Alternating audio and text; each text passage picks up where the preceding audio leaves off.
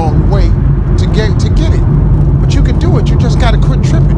Quit asking God for little bitty stuff. You ever thought about asking God for something big? Why are you wasting his time? Oh God, help me, help me, help me make my rent. What? Why don't you ask God for a mortgage? If He gonna give you the money for a place to stay, if you keep asking for rent, He keeps giving you the rent. If you ask for a mortgage, He'll give you the mortgage. That's how it works, man. Rich people ain't that smart. I'm telling you. They just know some of the principles of success.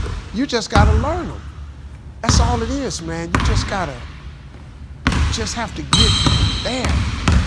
It ain't that, it's hard, but it's for everybody. The problem with success, the average person doesn't think it's for them. That's the only thing that's stopping you from being really successful. You become rich.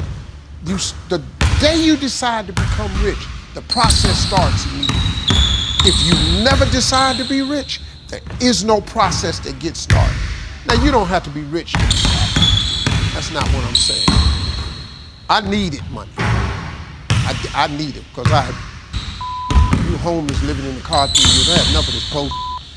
I wanted to really be rich. I wanted to just see what it was like.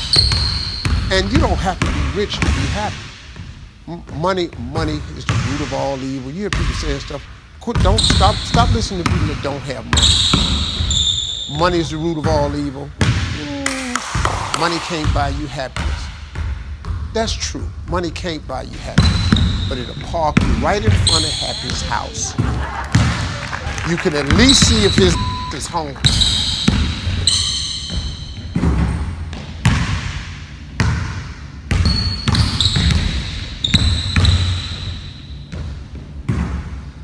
Failure is a part of the process.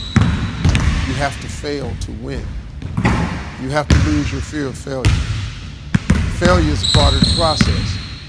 People who don't, who never fail, never try. You have to fail. You got to get it wrong to get it right. You learn nothing from winning. You only learn from your failures. Uh, Warren Buffett said he won't even invest in a person's business unless they failed in two other businesses. Because now you know what not to do. And so I think that's probably the biggest thing, man. I've just, uh, I've overcome so many failures. I've failed more times than I've succeeded. That's, I tell you the truth, man.